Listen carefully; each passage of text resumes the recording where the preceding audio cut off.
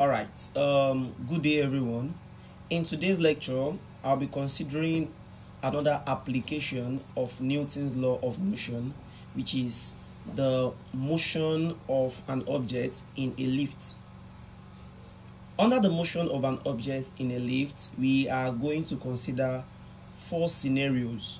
The first scenario is when the object in the lift is moving upward. The second scenario is when the object in the lift is moving downward. The third scenario is when the object and the lifts are not moving, that is, they are in a state of equilibrium. And the fourth scenario is when the body and the lift as are moving freely under the influence of gravity. That is, the tension on the lifts or in a lift is equal to zero. Okay, but in today's class, we are going to consider only the motion of the object in the lift. We are not going to consider the motion of the lift itself. Okay, so the first scenario we are going to consider is when the object is moving upward. When the object is moving upward, that's the first scenario we are going to consider. The body, the body is moving upward. The body is moving upward. Now let's assume that this is the body. This is let's assume this is the lift, and let's assume that this is the body in the lift. Okay. Now the body is moving upward. The body is moving upward. Now there is a force in the lift, and that force in the lift is called tension. Tension is always an upward force. Tension is always an upward force. So there is a force in the lift which is tension, and the tension is moving upward. Okay, but the weight of the body is moving downward because the weight of an object is always an action. Okay, now because the body is moving upward, it means the summation of all the forces moving upward or the summation of all the forces in upward direction okay are greater than or is greater than the summation of all the forces on the body moving downward. Okay so for the body to be moving upward it simply means the tension in the lift is greater than the weight of the object. So the tension is greater than the weight of the object.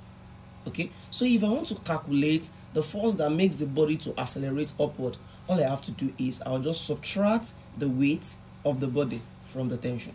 So i'm going to have tension minus the weight equals the force that make the body to accelerate upward.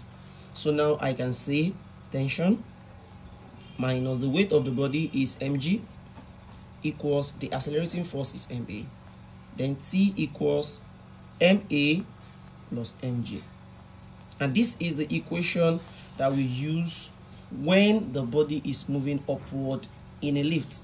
The second scenario that we are going to consider is when the body is moving downward. When the body is moving downward. Okay now, when the body is moving downward, it means the weight of the body is greater than the tension in the lift. So, the weight is greater than the tension in the lift. So, if I want to calculate the accelerating force, I'm going to subtract the tension from the weight. So, I'm going to have the weight minus the tension is equal to the accelerating force. Then I have mg minus t equals ma. Then minus t equals ma minus mg. Then I can say t, if I multiply both sides by minus 1, t equals mg minus ma. This is the equation that we use when the object is moving upward in a lift. The third scenario that we are going to consider is when the body is not moving the body is not moving the body is not moving Okay. So for the body not to be moving, it simply means the body is in a state of equilibrium. The body is in a state of equilibrium. And for an object to be in a state of equilibrium, one of the conditions is that summation of all the forces acting in upward direction must be equal to the summation of all the forces acting in downward direction. So that shows that if this body is not moving, it means the acceleration of the body is zero. And for the acceleration to be equal to zero, it means the tension is equal to the weight. And when the tension is equal to the weight, tension is equal to the weight. So I can say tension is equal to mg. So the condition for this body not to be moving is that the acceleration of the body must be equal to zero and then the lift must be moving with a constant velocity. When a body is moving with a constant velocity, the body is not accelerating. The acceleration of that particular body is equal to zero. The fourth scenario that we are going to consider is when the body when the body moves freely under the influence of gravity. Under the influence of gravity. Under the influence of gravity. Okay? That is the fourth scenario that we are going to consider. This is the weight and this is the tension now the body is moving freely under the influence of gravity. It simply means there is no tension on the body. The tension on the body is equal to zero. There is no more tension in the lift. And if the tension if there's no tension in the lift but the body is still moving downward. So we we still consider that the weight of the body is more than the tension. So i can say weight minus the tension is equal to f. But now the tension is equal to zero. The tension is zero so i can say weight minus zero is equal to f then weight is equal to f then mg is equal to ma then mass is the same thing as this mass so I can say A equals G.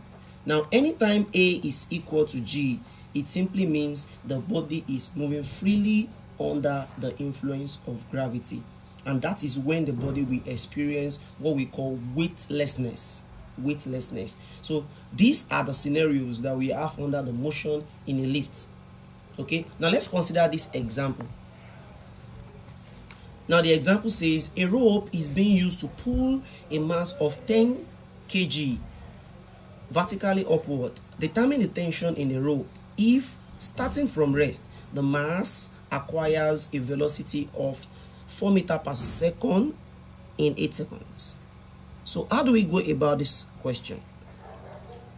We are looking for the tension in the rope, but we've been told that the body is moving vertically upward. So for the body to be moving vertically upward, it means the tension in the rope is greater than the weight. So I will say T minus the weight equals the accelerating force. Then I can say T minus mg equals ma. So T equals ma plus mg. So the question says we should find the tension in the rope. Okay, but we don't have the acceleration.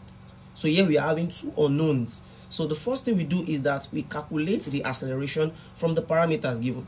If been given the initial velocity of the body starting from rest, initial velocity of the body v naught equals 0 meter per second. We've been given the final velocity of the body to be equals to 4 meter per second. And we've been given the time, t equals 8 seconds. So we are looking for the acceleration of the body. So how do we calculate the acceleration of the body? We make use of one of the equations of the motion, which states that V equals V naught plus AT. Our V is 4, 4. Our V naught is 0 plus A unknown, and then time is 8. So I'm having 4 equals 8A. Then I'll divide both sides by 8. Then I'm having my A to be equals to 0.5 meter per second squared and this is the acceleration of the body so now to calculate the tension i'll just come back to this particular equation i'm having t to be equals to ma plus mg So T now equals the mass of the body is 10 kilogram. 10.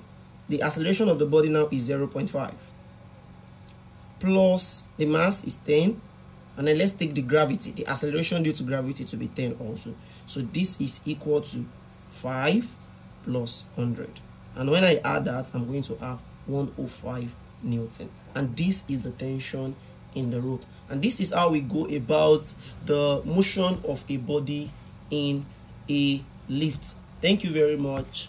I remain Ajadion I'll see you guys in my next lecture